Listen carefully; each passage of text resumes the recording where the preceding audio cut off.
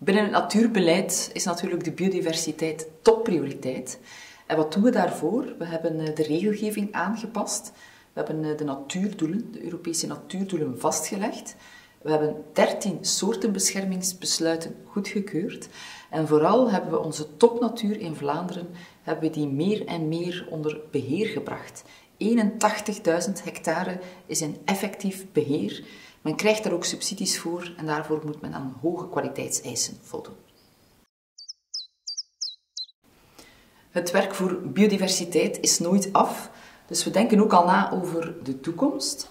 We zullen dus verder nog meer natuur in effectief beheer brengen, om op die manier ook eh, de Europese natuurdoelen te kunnen bereiken in Vlaanderen.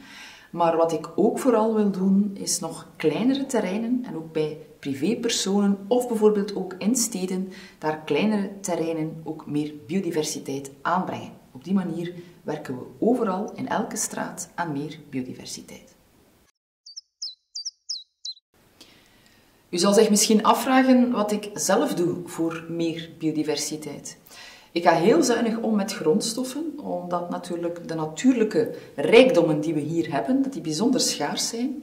En twee, geniet ik met alle zintuigen van de natuur.